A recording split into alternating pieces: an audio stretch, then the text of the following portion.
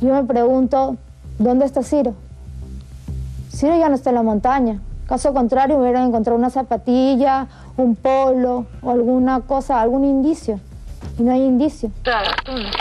Y en el agua, con tu agua de manantial.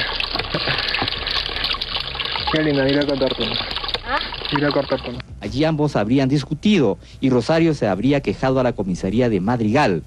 Ciro habría sido detenido al protestar. Lo golpearon y muerto lo habrían enterrado clandestinamente. ¿Qué es lo que tú crees que pasó con Ciro? Yo creo que Ciro se fugó. Hace una semana, cuando decidió pisar por primera vez un set de televisión para contar su verdad, Rosario Ponce López contuvo su respuesta. ¿Pero qué crees tú? ¿Que él está vivo? ¿Que está sobreviviendo en algún lugar? La verdad no lo sé. A continuación, el Dominical de Panamericana difunde en exclusiva lo que la estudiante de la agraria no dijo sobre la desaparición de Ciro Castillo Rojo García Caballero. Y me he dado cuenta de que, de que en verdad pudo haberse fugado, de que pudo haber caminado y pudo haber encontrado un modo de salir de ahí y que esté con miedo por todo lo que ha pasado. Tendrías que ser suficientemente hombre para salir y decir, yo estoy acá, papá. Esta semana fue devuelta sobre la mesa una hipótesis que ya había sido investigada por la policía. Una supuesta pelea entre los jóvenes universitarios, pobladores que recuerdan haberlos visto en Madrigal y una presunta denuncia policial en la comisaría de ese distrito.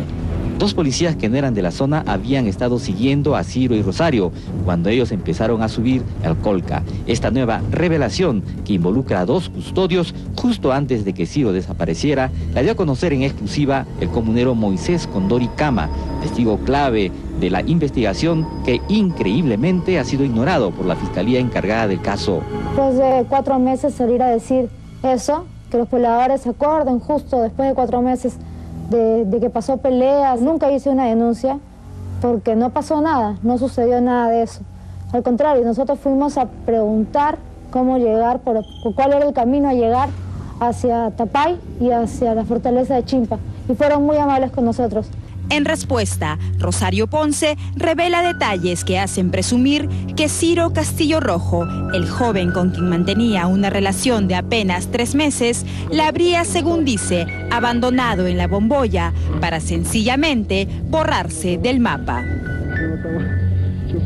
Una hipótesis absolutamente escalofriante es que acaso un hijo podría ser capaz de permitir el sufrimiento de su madre.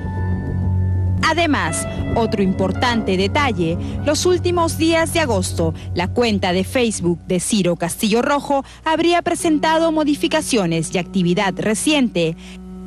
¿Quién la está usando si Ciro está desaparecido? Estaba muy delicada de salud y con esto no me pretendo hacer la víctima como quiere demostrar el padre de Ciro. Y él sabe porque él tiene el expediente, él tiene más de los 2.000 folios y sabe el estado de salud en el que yo me encontraba en la montaña y del cual yo fui rescatada. Yo estaba mal. Él me dijo que se iba a ver las luces de Tapay y yo confié en su palabra. Cabe recalcar que solamente llevábamos tres meses enamorados.